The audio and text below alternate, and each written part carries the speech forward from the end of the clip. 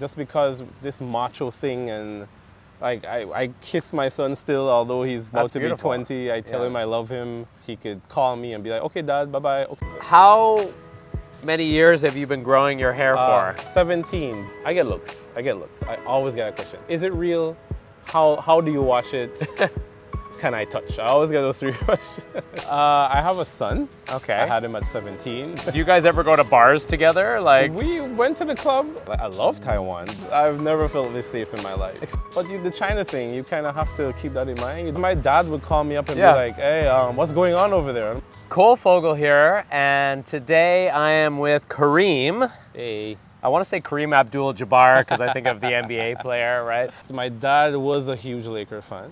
So Oh, okay. that's where he got the name. Kareem, where are you from originally? I originally I was born in Georgetown, Guyana. That is in South America. Okay. Um, but I moved to Belize, which is in Central America, and I grew up there. Okay, so what language did you grow up speaking? Uh, English, both English-speaking countries. Uh, coincidentally, both of them, both countries are the only English-speaking country in the region. Because when you say Guyana, I'm like picturing some Yeah. exotic, I don't know. It is very exotic, but it's English-speaking. It's actually considered part of the Caribbean. Both countries, they're not islands, but they're beside the sea. Because you totally have the, that Caribbean accent. yes. yes. When did you move to Taiwan? What year was that? I moved 2020. Well, Oh, right to, we at the beginning of the pandemic. We all know COVID happened. Belize is a very high tourist industry country. okay. yeah. So Belize took a huge hit. And Oh, you mean like the, you mean it was rough? yeah, the- because no one was coming in. That's how we make our money. Oh, um, oh you mean I they was- closed? They closed yeah, down. they closed the borders. like what Taiwan did. Yep. Tourism is how the country makes money. So Oh. it was tough time and times, and Yeah. I had to make a tough decision. And I So that's what got you here. Yeah, actually, yeah. The pandemic hit. Money wasn't wasn't great there, and you were like, well, "What do I do?" Well, let me come and do my master's. Oh, you came here to do your masters. Mm-hmm. Oh, what's uh, what school were you going to? I-Shou University. Oh, I-Shou. Okay. Isho, yeah. Okay, so you came here in 2020. Yes. Who did you come here with? Well, uh, I have a son. Okay. I had him at 17, very early. you were 17. I was 17. wow. Yeah, I was you were a kid still. I was a kid doing adult things, I guess yeah, you could put course. it that way. Yeah, yeah.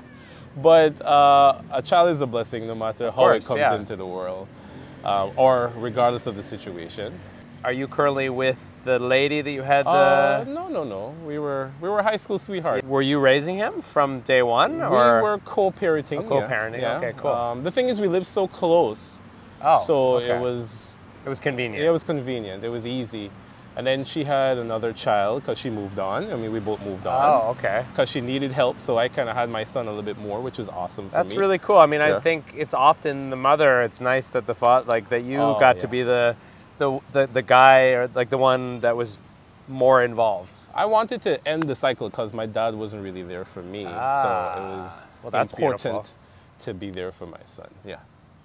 And when you have a son, you, you, you just need, in my opinion, you Yeah. just need a male presence A hundred around. percent. Yeah, hundred percent. When I came here 2020, he was a senior in high school. Wow. And I was Well, like, how old is that? That's. Uh, He was 17 himself. 17. Wow. So I He was. I That's was so fingers crazy. crossed. I was like, please don't do anything. Anyhow, don't follow me. Don't have children at 17. I came here first. Oh, okay. And then I, you know, just planted the idea in his Yeah. head. Hey, just apply, see what happens. Yeah, yeah, So yeah. he did. Were you living in Taipei at the beginning? No, we had to Taoyuan and then we had to take a quarantine taxi and then come straight right, down the to pandemic. Kaohsiung. Okay, so, uh, well, you, and then did you stay in a quarantine hotel? Quarantine hotel, two weeks. Why Kaohsiung? Like what? Uh, that's where school was. Yeah, yeah. When did your son come over here? Okay, so I came 2020 and set up everything. And I have to give a tribute to him because he was just so mature in handling it back home because he had to apply, he had to get all the certificates and everything uh, authenticated Oh yeah. uh, by, with- by both embassies. So he came 2021 because he got into a school in Tainan, which is Kunshan Oh, cool. University, doing mechanical engineering. And yeah, so he came 2021. And his quarantine was worse than mine because at least my quarantine had a window. Oh my His God, one- he didn't have a window? He was just in a room for two weeks. No, no, I that's was jail. so upset about that. I called the hotel and like, is there anything? No, no. How could there be a room with no window? Uh, it still upsets me to think about. So he did 14 days with no window. No window. But you know, these young generation, he had his Xbox on the phones, and he had his schoolwork to do too. He was good, but for So- me, I was just, I was more upset than he was. It was harder for you, yeah, Yeah. for sure. It's your boy, obviously. Yeah. So exactly a year later, your son came. Came, yeah. How's university? Is he still in university? Yes, he's going to finish in 2025. How how's he adjusting to life here? I think he's done better than I have, to be honest. Cause Yeah? like I would call him, hey, what are you doing this weekend? Oh, I'm going to Taichung, or oh, I'm going to Kenting. So he's moving around more than I am. Okay, right now he's so he's what? Is he about 18 now? Uh, he's 19. He's about He's to not- be he's a man. he's a man yeah, now. he's So I want to talk about dating for a minute here. So you're a single guy here yeah. currently. Your son is of dating age. yeah. I remember we were talking. Do you guys ever go to bars together? Like, We went to the club. Uh, isn't that this- interesting? It Like- was super interesting because he was there talking to girls, getting numbers, and I'm just like, okay. Like, well, what's that like? thing. But what's that like though? Like having like a fully grown son. Like I, my my oldest son is Hmm. 13, so like I'm not quite at that. It's humbling because um, you know the the things I instilled in him. You can see him practice it daily, and he's like, hey, wow, he actually listened. What values are really important to you that, Um, that that you see him living now? Show love. I think just because this macho thing and like I, I kiss my son still, although he's about That's to beautiful. be 20. I tell Yeah. him I love him. He could call me and be like, okay, dad, bye bye. Okay, love you. And he would initiate it. I mean, I think that's a real man, personally. I, um, I would agree. I always remember, you know, Paul Walker, the Yeah, actor that died. Of course, yeah, yeah. I remember they interviewed his dad, and he was in tears, and he said, you know, the one thing I don't regret is I always told my son I loved him. So important. And that's the last thing he told his Yeah. son that I love you. And to me, it's like we don't know when. yeah, you don't know when you don't know. So tomorrow may not be. You don't know. The culture here is not very huggy, lovey-dovey, feely. No, Uh, there's a lot of uh, emotional suppression, I think, and, uh, and maybe the opinion. values are different here, like making money, providing as a, as a, a father, and that's all important. Yeah. But tell your kid that you love them right after you watch this episode. In fact, pause this episode right now and tell your kid that you love them. If they don't, if you don't live with your kid, call them. Tell them you love them. Can't, you can't just assume that they know. You just it doesn't take that much out of you either. I mean, there's I knowing, but then there's really knowing, Yeah, it's true. feeling it. Feeling it. Yeah. Yeah. Well, that's beautiful. Super. Okay. Any other values that you? I think to be responsible in, in the situation, as, to be responsible in all aspects, Right. Not only that one. but you can't say that you made a mistake because otherwise you wouldn't have I- this beautiful son I that you have, right? I don't consider me having a child. But you did mistake. also give up part of your childhood having a son. I call it a life-altering Yeah, life altering. decision or a life-altering situation. Yeah. I don't call it a mistake ever. Were there growing pains though, like Oh, raising yeah. him at such a young age? Um, yeah, because I had to provide. Um, I had to stop school and I had to do night school. oh wow. And then I had to odd jobs here and there. I was a security guard at one spell. I could see you being a security guard. You were a personal trainer before, yeah, right? was- I had a lot of odd jobs back home, and that was one of them. Yeah. And I was going to say, and he kind of showed me some ropes with uh, how to exercise properly a few months ago because I just started getting into weightlifting, and you, you've greatly inspired me. Like Ah, thank you, when. I met you and we chatted about that, and you feel more confident when you lift weights. Actually, it's Like. I feel better. And, then, and if you have any aggression, I don't know. When the Yeah. day I'm angry, I just go lift weights, and then Yeah. I'm good after that. Uh, yeah, but it was. I would do it all again because my son is just amazing. So no regrets, obviously. No regrets. I mean, I have an amazing child. Dating in Taiwan. What's that like Mm, for you? Dating is difficult. It's a it's a gray area here because Yeah. if you meet a foreigner, Yeah. then who is going to move to whose country? That's that problem you have to deal with. And then if you date someone that's local, then am I willing to stay in Taiwan for the rest of my life? I love mm. Taiwan, but am I willing to stay for the rest of my life? or is she willing to come to my country? Right.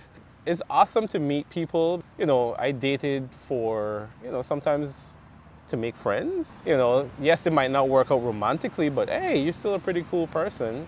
But there's always that big who is going to go where issue that I've faced. So then I would make the assumption you're not sure if you want to stay here indefinitely or if you want to eventually move on from here. Yeah, I'm not sure as yet. What, what's your overall feeling of Taiwan in the in the three years and a bit that you've been here? absolutely love it.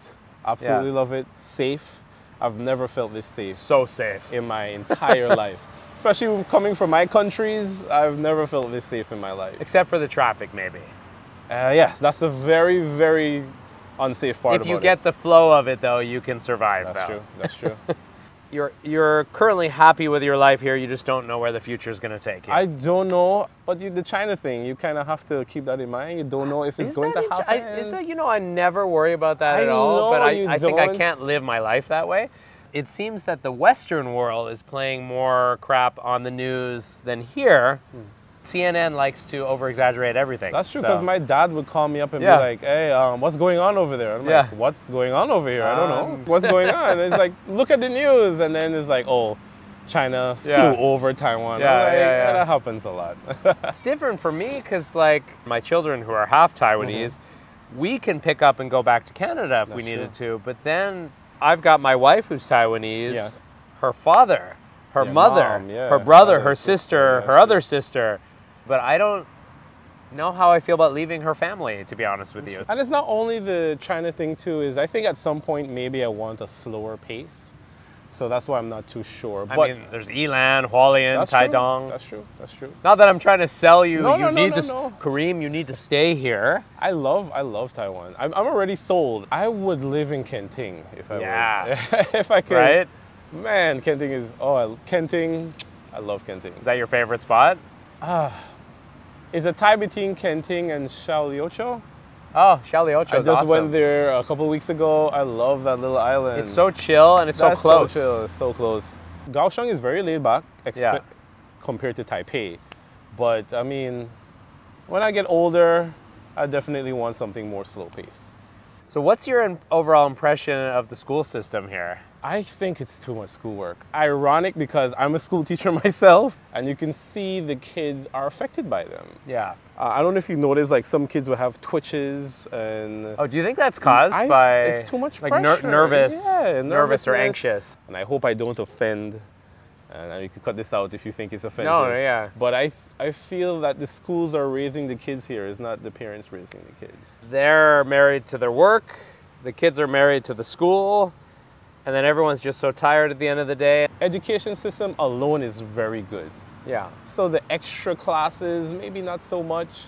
I just feel sorry for the kids. Uh, let them come out more. Let them enjoy being a kid. Because when you're an adult, trust me, I was adult at 17. When you're an adult, there's no going back. Because you became an adult at such a young, age. Yeah, I wish I had more time to be a kid. Yeah. So I, I do feel for the kids. A little bit more playtime. It, it doesn't have to be a 90 is okay.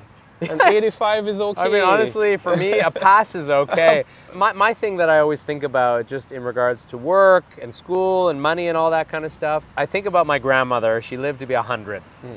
wow. And I, have- I held her hand on her deathbed. And I remember thinking the only thing my grandmother cares about in this moment is the love that she felt for me that I could feel in her hand. Hmm. And, and her children were around her when she was dying. We place so much importance on school and work and all that, but at the end of the day, we're all going to die one day. And what really matters? Does, does whatever that car is or clothes or certain type of house or certain hmm. lifestyle does any of that matter at the end of the day when you're lying there dying Very true. I would definitely and agree. and can we find some gratitude just for life itself i guess is what i'm trying to say I think it's very hard to do to find that balance. it is hard a it's so hard to do yeah. uh, the healthy balance because again, we do need the money. yeah we need the money we, We- need the health we need to be with our families. So if you can find that balance, so hard it's, it's very hard to do. your hair Oh, I have to comment about this. This gentleman's like the most beautiful, long, dreadlocked hair I've ever seen in my life. Oh? How many years have you been growing your hair Uh, for? 17. January is going to make 18. Yeah. So yeah. Like you haven't cut it in, I haven't cut it in 17 in almost Yeah, close to 18 years. Close to 18 years. Yeah. One of our senses is in our hair. Mm, And apparently, if you keep cutting your hair, you are actually cutting off part of your senses. Oh, okay. How do you maintain that? It takes a long time to wash. It takes Yeah. a lot of shampoo. You have to get soap it up really well. And drying it is the hardest part because Hair dryer Yeah, or like hair dryer, it, it stays wet for like almost a whole day. So I would need multiple towels, hair dryer, and then just let the breeze do does its thing. Why do you keep it so long? I Um, think it's beautiful, but I'm just thinking more about the maintenance of it. What keeps you from Um, just going, I can't take this anymore and just cutting it? It's Like- a way to express my individuality. Okay. One. Um, Yeah. In the Caribbean, there's a religion called Rastafarian. I was, I, I, yeah, I wasn't sure. I, Rastafarian, I was gonna say that, and I wasn't sure if it was I connected. don't follow the religion fully, but there's some things about the religion, Yeah. Rastafarian, that I agree with. Can you give me an example of some of the belief? Well, it's just about positivity, and they do worship a different god, Selassie. Oh, interesting. So I don't really believe in that part too much. Yeah. But the positivity and the good vibes about the religion is something I think is pretty awesome. Um, it is a hassle, I'm not gonna lie, but again, it's how I express my individuality. It shows patience because it takes patience to take care of this. Uh, I know I need to trim it because it is getting too long, Yeah. um, dangerously long. Like on my scooter, I have to put it in my lap because it's like by the wheel almost. And I get I get that question a lot. How do you maintain it? How do you wash it? Is it real? And if you see him, please don't go up and grab his hair. Because some yeah, some people would come up and this is I get looks. I get looks. I always get a question. Is it real? How how do you wash it? Can I touch? I always get those three questions. Is this a cross? yes, it is a cross. Because what I wanted to ask you, you said you were raised Muslim. No, my dad is Muslim. Your dad, okay, so your dad is Muslim. my mom is Christian. I was raised Christian. You were raised Christian. yeah, okay. because I was with my mom. Oh, okay, your parents Yeah, they- are divorced. Okay. How old were you when they when they divorced? I was about eight, so it was tough times. Yeah, well, I, I come from a divorced family Yeah. myself, and I hate the term broken family because it's not broken, it's just different. Um, know? Staying together for the child's sake never works. No, because I'll there, just there'll be an underlying negativity between the two people. Because I know a lot of parents have done that, and a lot of parents are currently doing that. I think it could hurt them I- more it hurts the kid even more. because there's going to be this silent negativity. But for me, that break was hard. I don't know for hard. you. 'cause, I, I mean, I, I was like, it was hard. I was a me. teenager. Being an adult now, I understand. But at then, at that age, Yeah, I, no. Well, I appreciate this chat, brother. oh Uh, man, anytime, anytime. Any final final words of wisdom or anything you want to say before I close this off? Um, If you're new to Taiwan, give it a chance. Like try to do some of the stuff that the local people do, because that's very fun as well. Yeah. When I first came here, I just stick to foreigner places Yeah. or It's easy to do. Yeah, it's easy to do. But then when you go to places where the locals go, it's like, hey, this is beautiful. Hey, this is more fun. Yeah, definitely. So just be open to trying different things and different food, because there's some food I thought was very gross, looked gross, but when I ate it, it was nice. An example? Um, hot pot. I wasn't too. That didn't look too scrumptious, but now I, love, hot it. I love. That's one of my favorite food. I, I like I it in the summer pot. when it's hot, which is weird. Yeah, that's weird. That's Yeah, I'm a bit weird. Yeah. All right. Well, uh, thank you, brother. Yes, uh, have a wonderful morning, afternoon, or evening, wherever you are. Don't forget to go out and try new things. Try new be, things. be kind to your neighbor. Come from a place of love, as you said. always Great, great lesson to teach your son, to teach my sons, to teach everyone. everyone. And uh, I will see you in the next one.